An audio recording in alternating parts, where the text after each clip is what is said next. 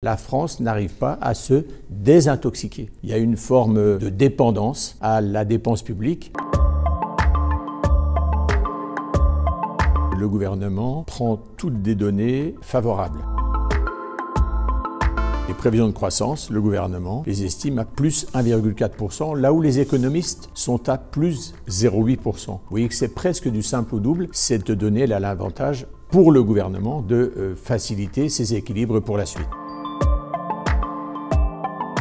le déficit de l'État est passé à plus de 150 milliards, alors qu'avant 2020, il était à 90 milliards.